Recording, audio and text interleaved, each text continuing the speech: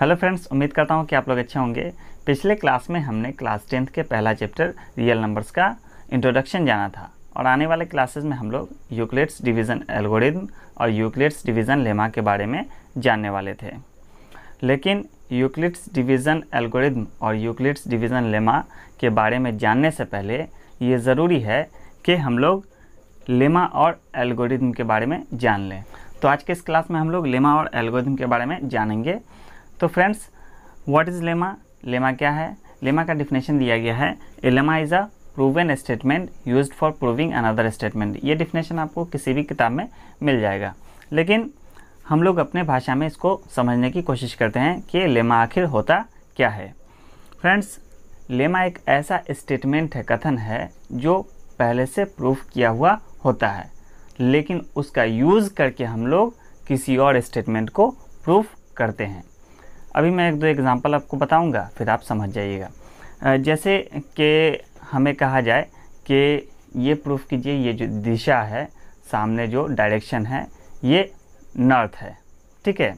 ये हम लोगों को प्रूफ करना हो।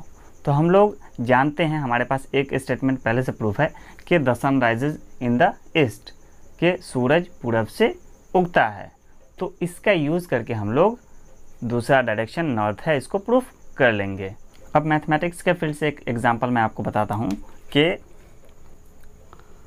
one two three five nine is an odd number ये एक स्टेटमेंट है, ठीक है? और अगर हम इसको प्रूफ करना चाहें तो कैसे करेंगे? हमारे पास एक स्टेटमेंट पहले से है कि कोई भी ऑड नंबर टू से डिविजिबल नहीं होता है, ठीक है? तो उसी का यूज़ करेंगे और इसको टू से डिवाइड करके देखते हैं। होता है कि नहीं होता है। तो ये number one, two, three, five, nine, two से डिविजिबल नहीं होगा। तो हम लोग ये प्रूफ कर देंगे इस स्टेटमेंट को कि one, two, three, five, nine is an odd number तो जो स्टेटमेंट हमारे पास पहले से प्रूफ था, उसका यूज़ करके हमने इस स्टेटमेंट को प्रूफ कर दिया। ठीक है? तो यही है लेमा आपका। अब हम लोग देखते हैं कि एल्गोरिदम क्या है। What is an algorithm an algorithm is a series of well defined steps which gives a procedure for solving a type of problem. Algorithm जो है सीरीज़ है, श्रृंखला है वेल डिफाइंड स्टेप्स का, जो कि हम लोगों को किसी भी प्रॉब्लम को सॉल्व करने के लिए एक तरीका प्रोवाइड करता है। तो ये तो हो गया डिफिनेशन उसका मतलब हो गया आम भाषा में। अब इसको एग्ज़ाम्पल से समझते हैं। जैसे ये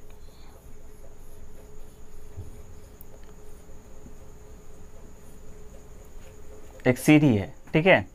और ये स्टेप्स है, ठीक है?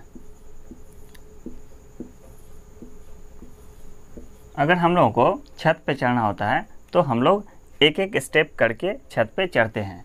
और ये जो सीढ़ी है, आप देखेंगे कि एकदम सही तरह से एक श्रृंखला में है, ठीक है? जो स्टेप्स है, एक के बाद एक है, और उसके बाद जो है सो हम लोग एक से दूसरे पे, दूसरे से तीसरे पे इस तरह से हम लोग सबसे ऊपर यानी छत पे पहुँच जाते हैं।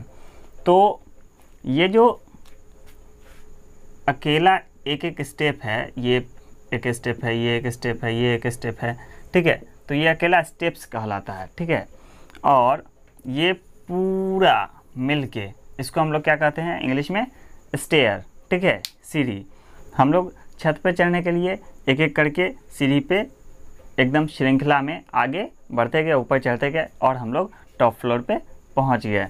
तो इस तरह से जो है सो, हम लोग किसी भी काम को करने के लिए, जैसे छत पे चढ़ने के लिए पहला सीढ़ी चढ़े, फिर दूसरा सीढ़ी चढ़े, तीसरा सीढ़ी चढ़े, इस तरह से हम लोग फ्लोर पे पहुँच गए उसी तरह किसी भी काम को करने के लिए हम क्या करते हैं? पहले ये करेंगे, फिर उसके बाद ये करेंगे, है ना?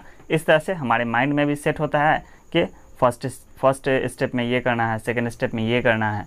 तो इसी तरह जो सभी स्टेप को मिला देते हैं, यानी सभी स्टेप्स का कलेक्शन जो है सीरीज़ जो है, वो कहलाता है एल्गोरिदम किसी भी काम को करने के लिए। जैसे कि हम लोग एक और एग्जांपल देखते हैं। ये क्वेश्चन है हमारे सामने और इसको सिंप्लीफाई करना है, ठीक है? तो इसमें हम लोग बोर्ड मास रूल का यूज़ करते हैं। सबसे पहले इसमें क्या करेंगे हम लोग? डिवाइड करेंगे, ठीक है? तो उसके बाद क्या करेंगे? मल्टीप्लिकेशन उसके बाद ऐड करेंगे। और अब लास्ट स्टेप में सब्ट्रैक्ट कर देंगे।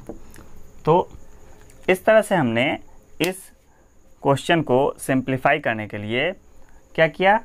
एक के बाद एक स्टेप को फॉलो किया है हमने। ठीक है? पहले डिवाइड किया, फिर मल्टीप्लाई किया, फिर ऐड किया, फिर सब्ट्रैक्ट किया, अगर कोई भी स्टेप को हम लोग आगे पीछे कर देते, ठीक है, यहाँ पहले ऐड कर देते, उसके बाद डिवाइड करते, फिर सब्ट्रैक्ट करते, फिर मल्टीप्लाई करते तो ये हमारा सिंप्लीफिकेशन सही तरह से नहीं हो पाता। उसी तरह किसी भी काम को करने के लिए हम लोग स्टेप वाइज जो है सो एक श्रृंखला में चलते हैं, वो भी वेल डिफाइंड करने का ये मतलब है कि एक के बाद एक सही तरह से, ठीक है।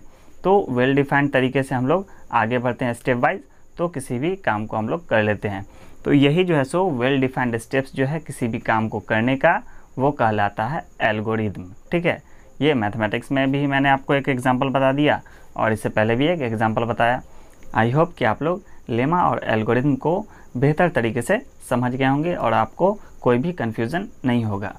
आगे के क्लासेस में हम लोग यूक्लिड्स डिवीज़न लेमा और यूक्लिड्स डिवीज़न एल्गोरिज्म के बारे में जानेंगे। अगर ये वीडियो आपको अच्छा लगा हो तो वीडियो को लाइक कर दें, और अगर आपने अभी तक इस चैनल को सब्सक्राइब नहीं किया है तो चैनल को सब्सक्राइब करके बेलाइकन दबा दें। Thanks for watching.